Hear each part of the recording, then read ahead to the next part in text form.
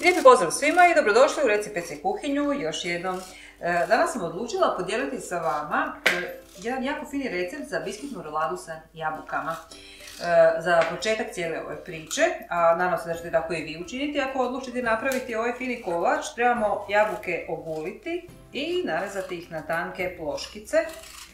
I rekla bih da je ovo možda i najzahtjevniji dio pripreme ovog kolača, jer evo ovoga ima dosta posla dok se jabuke ogule i nasjeckaju. Znači za početak to, bit će nam potrebno pet ovako većih jabuka ili ako imate nekakvu vrstu onih domaćih sitnih jabučica, onda slobodno uzmite i 7-8 sitnih jabuka. Znači svaku jabuku kad je okulimo prerezati prvo na polovicu, pa onda još na četvrtinu. Koštice izvaditi, paziti da vam e, ne pobjegne nešto na pod i narezati je na e, ovako tanke ploškice. Možete ovo napraviti i na kuhinskoj dasci, pa onako sa većim nožem sjeckati, ali evo, možete i ovako iz ruke kao i ja. I sada, e, kako vam ove jabuke koje smo nasjeckali ne bi potamnile, dok sjeckamo ove ostale i dok pripremamo ostatak kolača, pripremite cijelen limon.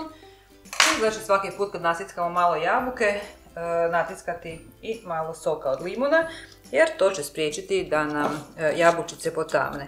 Znači istim ovim postupkom pripremiti sve jabuke. E, ok, evo jabuke su spremne, zalivene su sa e, limonom. pripremite si još jedan veliki lim za pečenje, to je lim što dolazi sa pečnicama i obložite ga papirom za pečenje. mi sada idemo pripremiti biskvitnu smjesu. Za biskvitnu smjesu treba nam ukupno šest jaja, evo ih ovdje.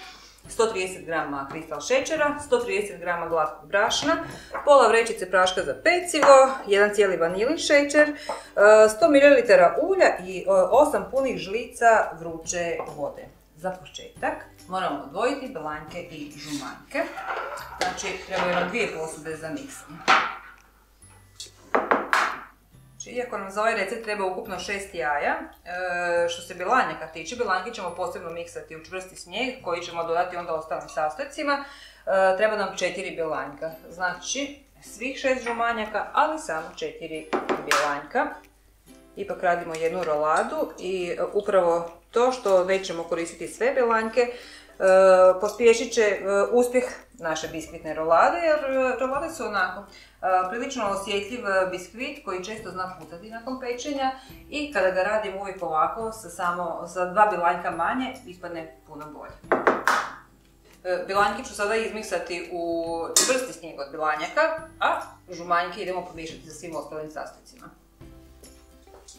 Znači, žumanjcima za početak dodati sav šećer i vanilin šećer, pa ćemo to prvo umiksati i onda ćemo polako dodavati sve ostalo.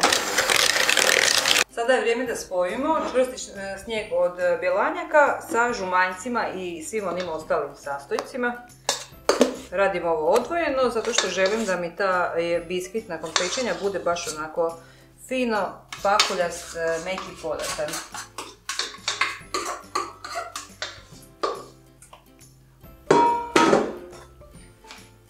Znači sa pjenjačom. Najlakše se sa pjenjačom e, može izraditi ovakav snijegov bjelanjaka sa ostatkom smjese. Znači nekoliko puta samo ovako skroz do dna proći kako bi se lijepo sve sjedinilo.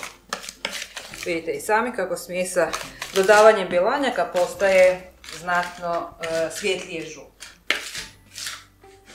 Ok, biskvitna smjesa nam je spremna i sada idemo na samu izradu. Znači veliki lim za pečenje. E, treba nam 4-5 e, žlica krušnih mrvica i 4-5 žlica kristal šećera. Znači sa mrvicama i sa tim kristal šećerom posipat ćemo papir za pečenje koji smo raspostrali preko cijelog ovog lima.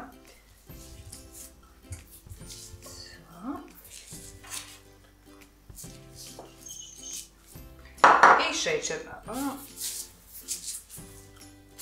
Meni je to uvijek ovako najlakše rukom napraviti, a sad evo ako vi želite možete i sa žlicom, apsolutno je sve jedno.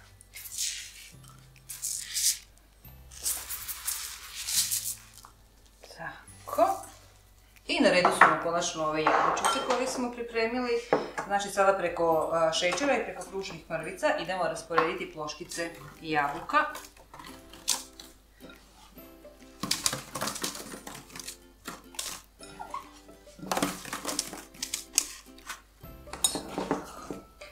Znači bitno ih je rasporediti nekako ah, što ravnomjernije da bude onako po cijeloj površini. I sad, ako ste ljubitelj cimeta, sada je pravo vrijeme da sve skupa ovo zasipate, onako sa dobre dvije žlice cimeta. I onda će naravno biti još onako jača i specifičnija aroma. Ja evo, ne volim cimet, pa ga ne koristim u ovom receptu, ali evo za sve vas ljubitelje cimeta, poručam u ovom trenu zasipati kolač sa hrpom cimeta. To. I sad ako vi primijetite da su negdje ovako ostale praznine na ovome limu, slobodno rukama to malo popunite. To. I sada, preko svih ovih jabuka, idemo rasporediti biskvitnu smjesu koju smo pripremili. Znači ona je ovako prilično tekuća, znači za početak ću je izljevati ovako u tankim mlazovima.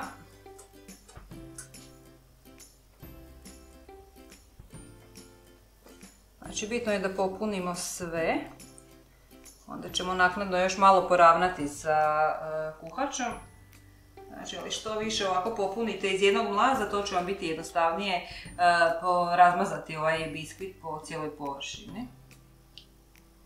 Idemo mi poravnati ovo sve skupa, znači ovako, preko svih ovih jabučica. Dok ovo sve skupa e, radimo, dobro je sjetiti se upaliti pečnicu i zagrijati je na 180 stupnjeva, jer ovog trena, kada smo rasporedili biskvitnu smjesu preko jabuka, ovo sve skupa ide u pečnicu i peći će se 20 do 25 minuta. Ovisi e, koliko vam je jaka pečnica, vidjet ćete da je gotovo kada dobije baš onako specifičnu smečkastu boju pečenog biskvita. Jabuke će se naravno pečenjem onako fino malo raskašati, neće e, pustiti previše soka jer smo stavili krušne mrvice na e, dno dolje i one će upiti e, sovičan sok, a šećer će se onako fino otopiti i napraviti onako finu, finu jednu nezamjetnu hrskavu koricu. Idemo mi sad s ovim u pečnicu, a poslije ćete vidjeti kako ćemo ga izamotati.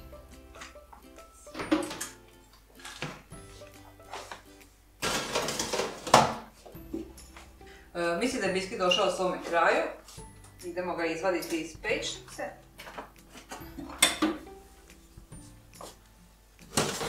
Jako lijepo miriši. Evo ga. To je to. I sada odmah, dok je biskvit još ovako vruć, e, moramo brzo djelovati. Znači, pripremiti jednu veliku kuhinsku krpu, dobro je namočiti vodom i e, ocijediti, rasprostrti je ovako tu odmah pokraj, sad ćete vidjeti odmah i zašto. Da vidimo da vam se nije negdje biskvit prilijepio. Nije. I sada uz pomoću ovako dvije ruke, znači uhvatiti za kraja i prebaciti ga na kuhinsku krpu. Odmah sada idemo odvojiti ovaj papir za pečenje. Znači radimo to ovako polako da nam se slučajno ne bi e, ulovio i ovaj pečeni biskvit i koja jabučica. Ne bi trebalo, ali evo vidite, ovako zna se dogoditi da se malo uhvati, pa slobodno to ovako malo pažljivije samo potrgaj.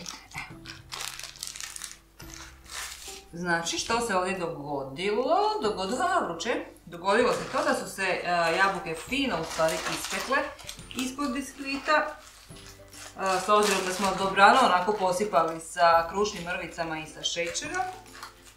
One su sad i onako baš fine slatke, a vidite ovi među prostori su postali onako krckani. Znači odvojiti papir. Pazite samo da se ne opečete stvarno izvući. To nam ne treba. I sada odmah uz pomoću ove krpe idemo saviti roladu. Znači sa ove duže strane biskvita zarolati. Znači i samo ga ovako lijepo smotati. Nemojte rolati prečvrsto da ne bi popucalo. Nego evo ovako lagano kolač u biti sam diktira tempo kojim ćete vi njega zarolati. Znači do kraja. Radimo ovo sa mokrom krpom kako bi se e, biskvit što više omekšao i kako nam rolada ne bi popucala. Znači to je to. Idemo sada pripremiti pladenj na kojem će se ova rolajica fino moći ohladiti. Pa evo, ovaj će biti taman ovako na knap. Znači, približiti. I sada vidite ovaj e, spojeni kraj ćemo staviti da nam bude dolje u stvari. Znači, opa, to je to. Kako bi se prilikom hlađenja to lijepo skroz onako do kraja spojilo. Evo ga.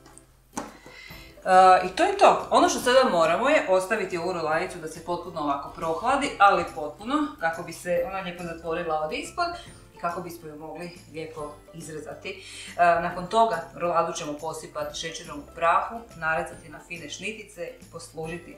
Znači dobili ste ono dvije muhe jednim udarcem, jedan najobičniji biskvit, ali unutra fina ta krema koju od soka koji su jabuke pustile u kombinaciji sa šećerom i krušnim mrvicama. E, mene je ova rolada oduševila čim sam je prvi put probala napraviti još prije par godina. E, kompletan pisani recept imate kod mene na Reci Peci, linkove ću vam staviti dolje u opisu ovog videa, kao i sve točne sastojke koje sam koristila za ovaj recept. Probajte molim vas što prije, napišite mi u komentarima kako vam se svidjelo. Naravno, budite uz Reci Peci i neki sljedeći put jer opet ćemo raditi neke fine, slatke, sočne kolače. Vidimo se tada.